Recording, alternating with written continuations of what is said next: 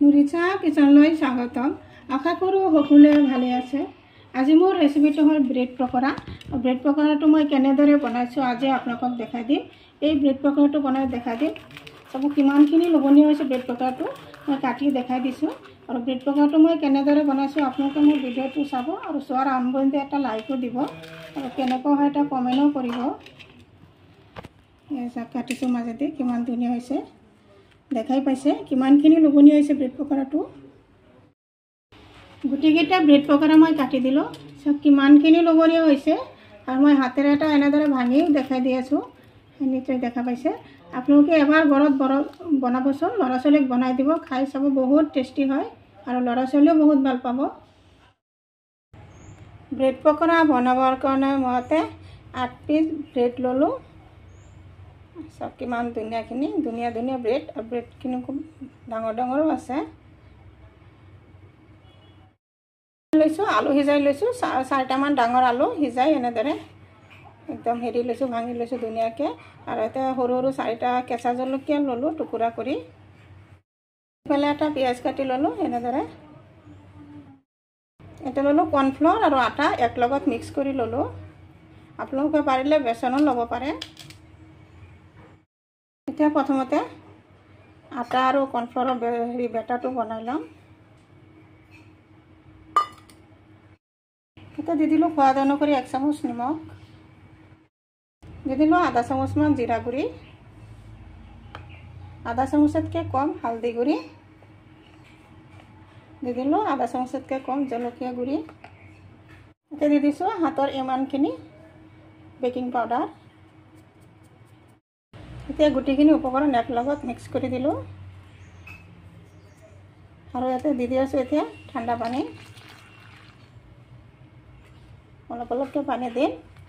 আৰু হাতেৰে এনেদৰে বেটাৰটো বনাই লৈ আছোঁ।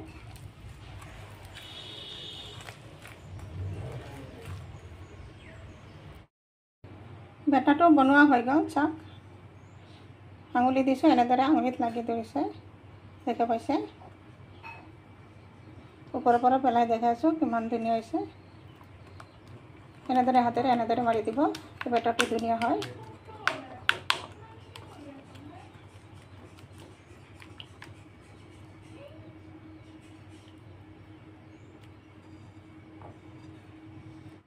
ইফালে গেছত এটা কেৰাহী বহাইছোঁ, আৰু কেৰাহীত দি দিলোঁ অলপমান সৰিয়হৰ তেল, আৰু দি দিলোঁ ইয়াতে পাঁচফোৰণ। দি দিছোঁ পিঁয়াজখিনি আলুখিনিও দি দিলোঁ ইয়াতে ইয়াতে দি দিলোঁ কেঁচা জলকীয়া। আৰু দি দিলোঁ এক চামুচ এক চামুচতকৈ কম। অলপখিনি নিমখ দি দিলোঁ। আৰু এতিয়া গোটেইখিনি তেলৰ লগত। আলুখিনি ভালদৰে অলপ টাইম ভাজি লওঁ। আলুখিনি এনেদৰে তেলৰ লগত ভালদৰে মিক্স কৰি দিলোঁ। আৰু এতিয়া দি দি আছে ইয়াতে অলপখিনি জলকীয়া গুড়ি, অলপ হালধি গুড়ি, আৰু অলপ জিৰা গুড়ি। গোটেইখিনি ভালদৰে আপোনালোকক মিক্স কৰি দিম।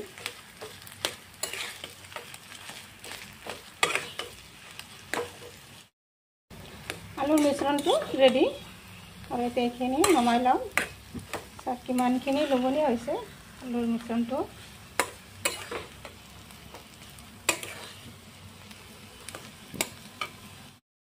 এতিয়া এই প্লেটত এটা ব্ৰেড ল'লোঁ আৰু ব্ৰেডত দি দি আছোঁ এতিয়া আলুৰ মিশ্ৰণটো।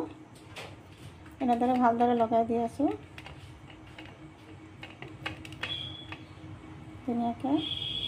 এতিয়া আলুৰ মিশ্ৰণটো ধুনীয়াকৈ লগাই ল'লোঁ আৰু আৰু এটা ব্ৰেড এনেদৰে ওপৰত দি দিলোঁ। ধুনীয়াকৈ বহাই দি দিলোঁ আৰু এই প্লেটত ৰাখি দিলোঁ। ঠিক তেনেদৰে আৰু এটা ব্ৰেড ল'লোঁ। তাত একটু তো আলুর মিশ্রণ দিয়ে দিয়েছ।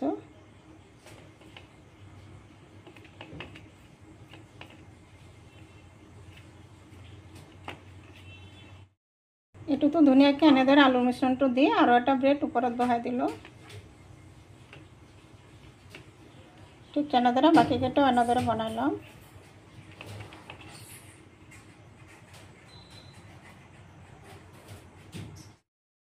গুটি কেটা ব্রেডও এনেদৰে আলুৰ মিশ্ৰণটো দি দিলোঁ আৰু এইফালে বেটাৰটো ল'লোঁ আৰু বেটাৰটো অলপ হাতেৰে এনেদৰে অলপ লৰাই ল'লোঁ, লৈ এটা এনেদৰে ব্ৰেড পকৰা এনেদৰে দি দিলোঁ এটা। দি অলপ ওলোটাই দিলোঁ, দুইফালে ধুনীয়াকৈ এনেদৰে লগাই লৈ আছোঁ। মানে মই কেৰাহীত আগতে তেল দি থৈছিলোঁ আৰু তেল গৰম হৈ গ'ল। আৰু এনে এটা দি দিছোঁ এটা চাইড হৈ গ'ল এতিয়া ওলোটাই দিম।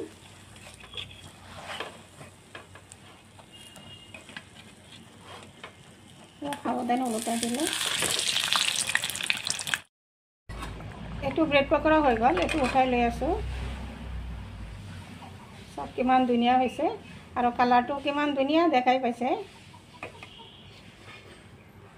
এতিয়া প্লেটত উঠাই দিলোঁ। সৰু সৰু এই গুটিখিনি উঠাই দিওঁ এতিয়া।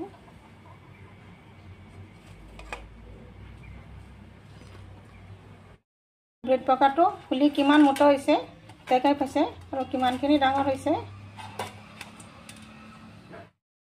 ঠিক তেনেদৰে আৰু এটা ব্ৰেড পকৰা ল'লোঁ লৈ এনেদৰে বেটাৰত দি দিলোঁ। দি এনেদৰে ওলট পালট কৰি ভালদৰে বেটাৰ লগাই লৈ আছোঁ। এইটো দি দি আছোঁ এই এইটো ব্ৰেড পকৰা এটা চাইড হৈ গ'ল এতিয়া এইটো ওলোটাই দি আছোঁ।